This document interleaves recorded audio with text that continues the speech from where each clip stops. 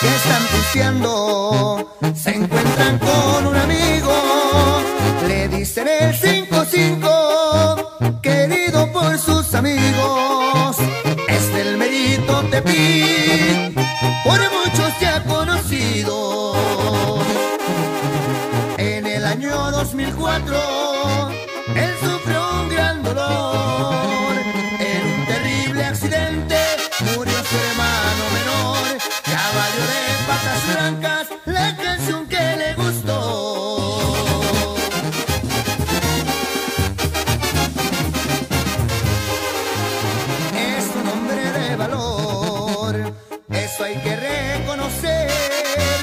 porque ya mucho ha luchado. Sí, así es. Bienvenidos a una edición más de su programa Hierba Verde. Con su amigo de siempre, el Fajamaleón. Como vieron, por cierto, hoy recibimos ya nuestros primeros patrocinadores.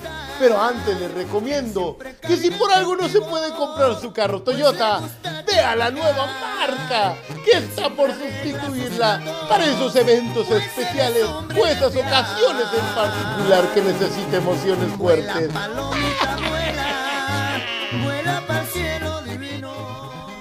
Vemos, se volvió a dar otro hecho aislado más en este estado.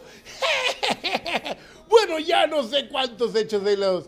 Otra vez, por un conflicto vial se encontraron ahí dos grupos de gentes que iban ahí por una carreterita de terracería. Y como no se pusieron de acuerdo quién tenía derecho de vía, pues se agarraron a balazos y se mataron.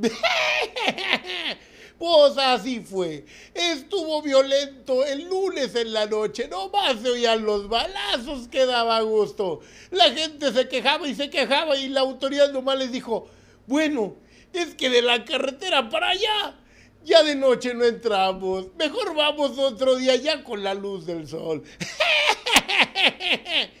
No estuvo violento y si esto agregamos el ejecutado en el campo de golf el Tigre junto a los condominios y los levantados, la semana volvió a estar súper violenta. Bueno, pero en este momento, en este instante le pregunto al procurador, ¿qué va a hacer al respecto? Vean esta imagen de cómo lo va a enfrentar.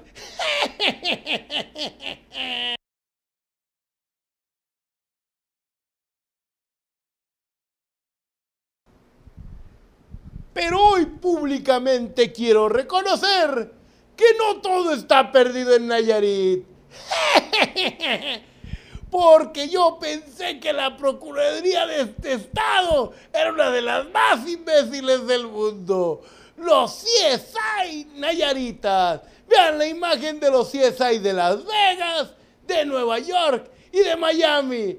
Casi parecidos con los agentes y el agente del Ministerio Público que les mostramos. Pues sí, en efecto, el procurador de justicia del Estado de México, un tal tal Bas Bas, por eso lo repito tanto, ha hecho el ridículo de la historia con el caso Paulet. El asunto más claro que el agua cristalina que sale del Cutzamala lo está echando a perder con cada babosada. Bueno, Nunca habíamos visto un procurador que quisiera soltar al delincuente más descarada y cínicamente. Y eso me hizo recordar a cuatro procuradores con sus sistemas de investigación infalibles.